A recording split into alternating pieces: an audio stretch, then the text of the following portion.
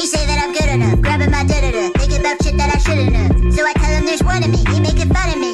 His girl is a bum to me, like that boy is a cat. Saying he home, but I know where he at. Like, that he blowing her back. Thinking about me, cause he know